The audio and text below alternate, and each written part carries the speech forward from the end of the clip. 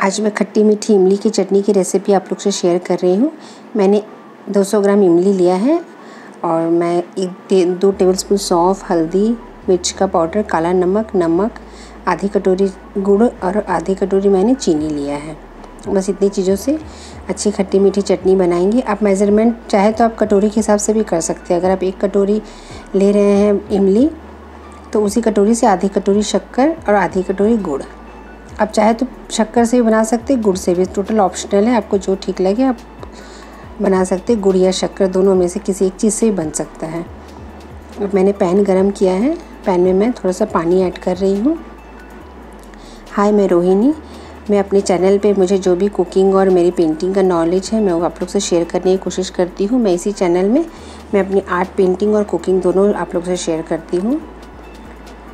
अब मैंने इमली का पल्प इसमें डाल दिया है। इसे हाई फ्लेम पे इसे अच्छा से बॉईल करेंगे। बहुत सिंपल सा चटनी है, आप इसे किसी के साथ भी सर्व कर सकते हैं, रोटी के साथ खा सकते हैं या फिर आप चाट में डाल सकते हैं, आप चाहे दही बड़े के उसमें डाल सकते हैं। आप चटनी को किसी के साथ भी खा सकते हैं, बहुत स्वादिष्ट चटनी ये बन के निकलता है। अब मैं दो चम्मच ली हूँ सौंफ और एक टेबल स्पून मैंने लिया है जीरा। आप चाहे तो अगर आपको तीखा चाहिए तो आप इसमें गोल मिर्च भी ऐड कर सकते हैं। बस इसे अच्छा सा भून लूँगी। वैसे इमली भी इधर उबल रहा है। फ्लेम को मैं लो और मीडियम करके इसे बॉईल कर रही हूँ। पहले हाई किया था, जब बॉईल हो गया तो मैं इसे लो, मीडियम करके बॉईल कर रही हूँ। अब मैंने आधी कटोरी चीनी और आधी कटोरी गुड़ का पाउडर अब गुड़ भी डाल सकते हैं। डाल के इसे अच्छा सा बॉईल कर देंगे। तुरंत अच्छा सा गाढ़ा सा हो जाएगा चटनी। इसे अच्छा सा बॉईल होने दीजिए। अब मैं छोटे से खलबट्टे में सौंफ और जीरा का पाउडर बनाऊँगी। मैंने थोड़ा सा दरदरा रखा है आप चाहे तो इसे बारीक पाउडर भी बना सकते हैं।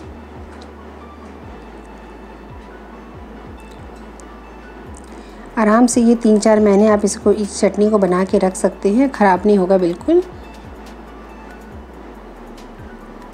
देखिए, मैंने हल्का सा दरदरा इसे कूटा है। अब देखिए, चटनी कितना गाढ़ा हो गया इमली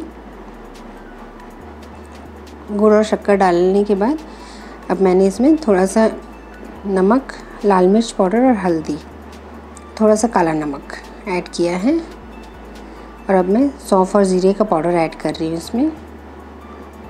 बस देखिए, इतनी चीज़ों से इतने सिंपल सा चटनी बन गया है और बहुत ही टेस्टी। आप इसे किसी के सर्व कर सकते हैं।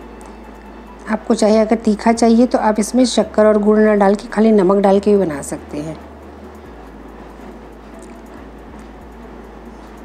वैसे अच्छा सा बॉईल कर दूँगी। अगर इसमें आप मीठा नहीं चाहिए तो आप इसमें थोड़ा सा मेथी का पाउडर ऐड करेंगे।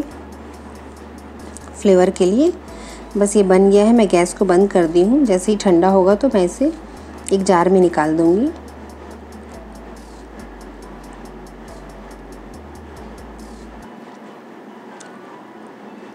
बस इसके मैं रख के इसे किसी के साथ भी आप इंजॉय कर सकते हैं, चाहे तो आप बड़े के साथ खा सकते हैं, किसी भी के साथ भी आप इसे सर्व कर सकते हैं, बहुत ही टेस्टी बनता है ये चटनी। देखिए बन चुका है, अब मैं इसे रख दूँगी और इसे सर्व करूँगी, अगर जैसे जिसके साथ खाना होगा तो। इमली की चटनी बन के रेडी है।